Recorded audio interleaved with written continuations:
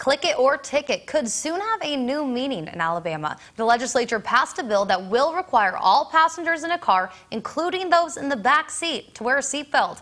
Currently, only front seat passengers have to wear seatbelts. The fine for not complying is $25.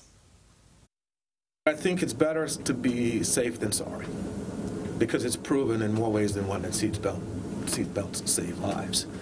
So I think, and prior to today, I was one of those individuals as well who probably embraced the idea that the front seats served as buffers.